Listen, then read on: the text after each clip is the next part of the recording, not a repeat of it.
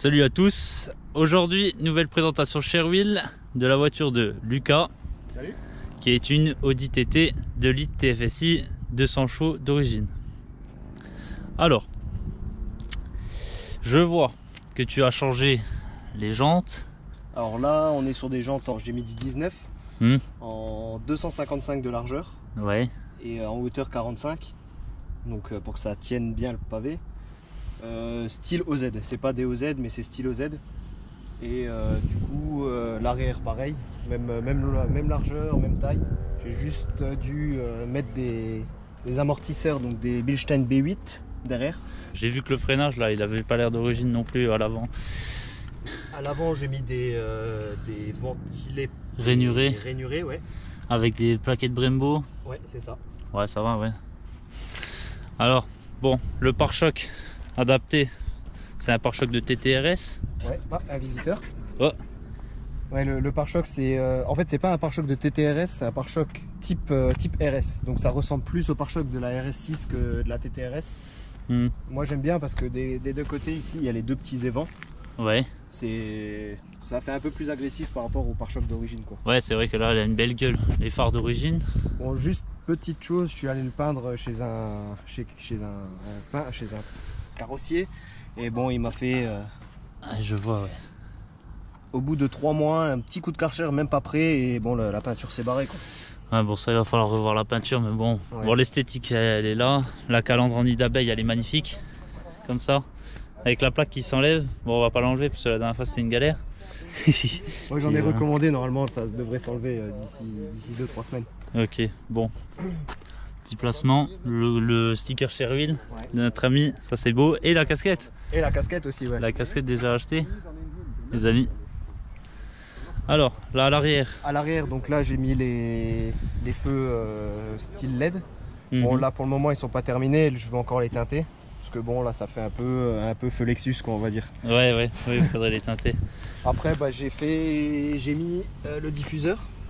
Ouais, ça je vois. Le Parce que normalement, tu es en double sortie euh, uniquement sur le Ouais, côté voilà. là. Donc c'est juste comme c'est la, la simple. Normalement il y a deux, deux petites sorties là et de l'autre côté il n'y a pas. Donc euh, moi ce que j'ai fait c'est que je me suis amusé à euh, acheter ça, à le peindre et à le poser quoi. hein. Et aussi changer le silencieux du coup comme c'est. Il y avait déjà le, la bande là? Ouais le, ça c'est le, le frein. Ouais. Ah, t'as un feu stop ici, ouais. Ouais, j'ai un feu stop là et un feu stop là. Moi ce que je compte faire c'est euh, les, aussi les teinter celui-là et celui-là. Ok. Voilà. Après le, le, le petit logo euh, le petit logo Little Bastard. Ça veut dire C'est euh, petit bâtard. Ça c'est en fait c'est euh, c'est une référence, euh, on va dire historique. C'était euh, la voiture de James Dean, Little Bastard. C'était une, une vieille Porsche qui avait un peu la coupe euh, à l'arrière de la De la TT. de comme la ça. TT, donc du coup moi j'ai pensé à le mettre. Et en plus comme j'aime bien ce mec, Ouais, c'est bien. Donc, c'est une cab, ouais, un roadster. un roadster. Bon, qu'est-ce qu'on voit à l'intérieur? Les sièges, pas d'origine? Ouais, ça c'est des sièges FK que j'ai mis, donc Mhm. type aussi type RS. Bon, c'est pas des sièges que j'ai acheté cher, mais ça maintient bien, ils sont assez résistants. Et euh, voilà quoi. Ouais, non, ils sont, ils sont jolis. Après, euh, les surpiqûres rouges comme ça, ils sont sympas. Là, les petits, euh, le, le passage de la ceinture ici, sympa.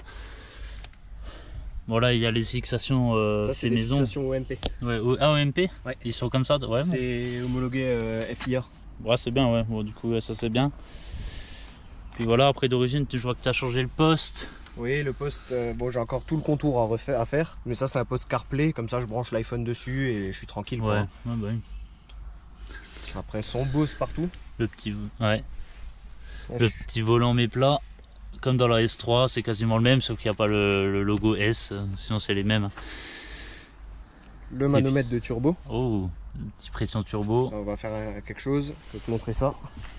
Donc là en fait là je- j'ai raccordé donc une lumière dessus, donc dès qu'on démarre, enfin dès qu'on met le contact, ça s'allume. Ouais, il est joli. Ouais, il est beau. Il est bien placé en plus. C'est un peu comme le Val aussi, pareil, mais lui, il avait, lui était digital et t'avais tout plein de fonctions dessus. Oui, mais- oui. Moi je voulais un simple euh, rond avec l'aiguille. Ouais, voilà, Je ouais, voulais non, ouais, moi j'aime bien aussi comme ça. Bah après je me suis... au début c'était soit je le mettais là, soit là au milieu, mais au milieu là ça aurait fait trop. Moi et Virgile, les aiguilles, c'est c'est Ouais. la vie. On le dit dans chaque vidéo.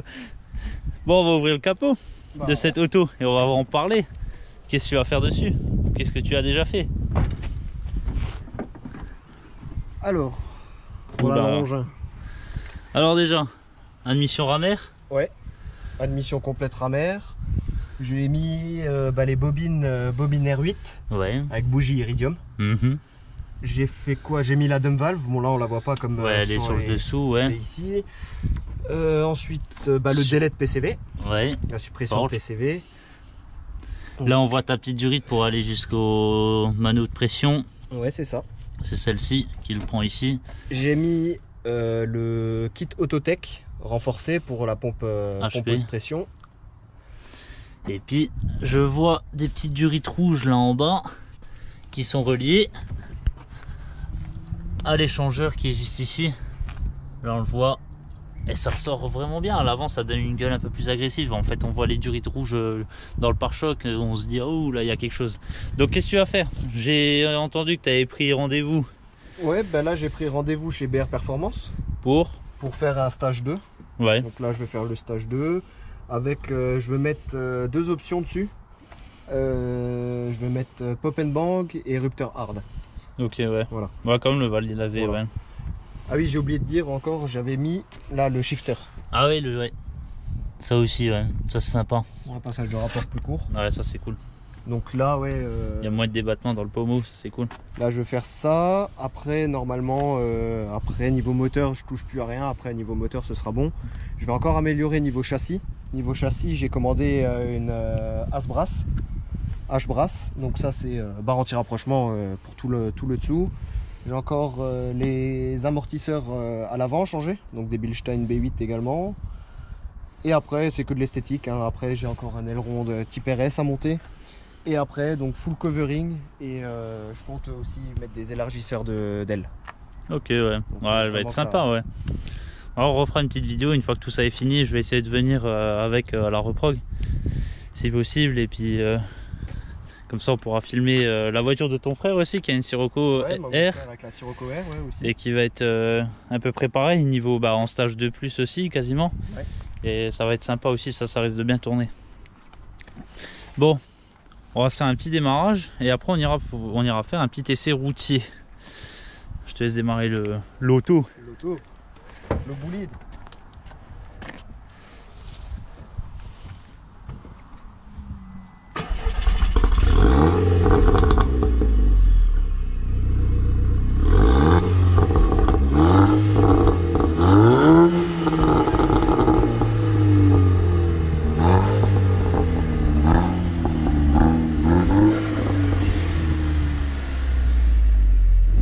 Le mano et la qui crache.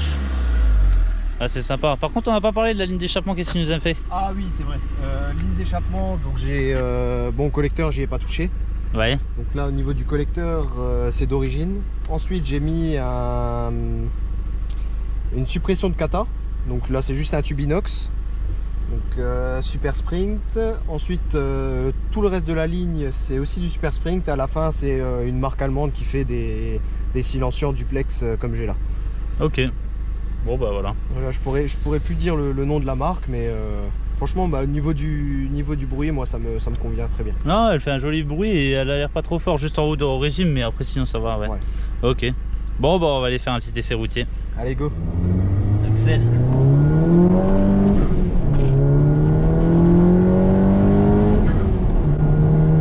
Les rapports sont vachement courts avec le shifter. Ouais, je vois ça.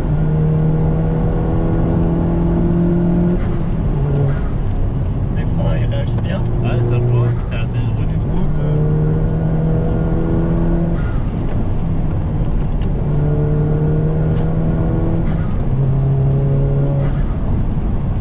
Ouais, c'est une bonne petite voiture. Ouais, putain, ouais, elle tient bien la route. Ouais, elle marche bien. Putain, je suis quand même pressé de voir euh, Avec la reprogrammation. avec le stage 2. ouais. Euh, ça risque d'être euh, vraiment bien. Et puis, ouais, non, mais ça c'est cool. Putain, ouais, elle risque de bien tourner. Bien, bien, bien tourner. Bah moi, je, franchement, je compte euh, avec la reprogrammation les pièces que j'ai mis dessus, sachant que j'ai 200, 200 chevaux d'origine. J'espère avoir au moins 300. Ta ligne, elle tape. Ouais, ça c'est un truc qu'il faut que je règle.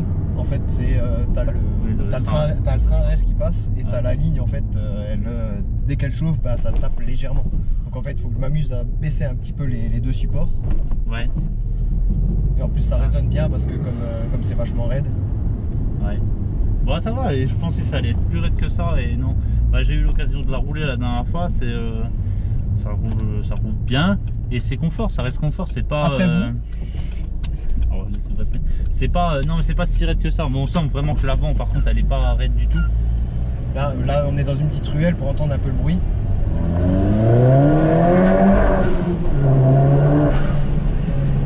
On entend la dunk, je sais pas si on l'entendra sur la vidéo, mais ouais, non, le son de la voiture est vraiment cool.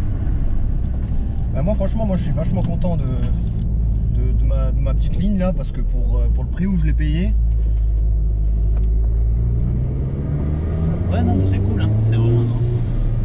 oh, une vieille moto. Ouais, ça c'est beau aussi. Ouais.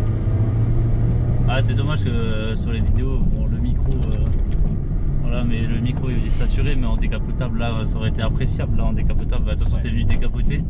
Ouais, c'est ça. Surtout avec le temps là qu'il fait là. euh, Ah, et- Petite route sinueuse. Faut juste faire attention qu'il n'y ait personne. ah, là, ça résonne un peu.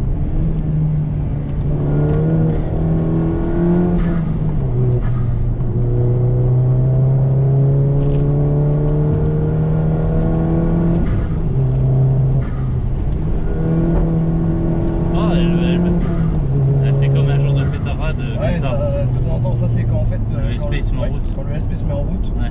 les roues se bloquent pas.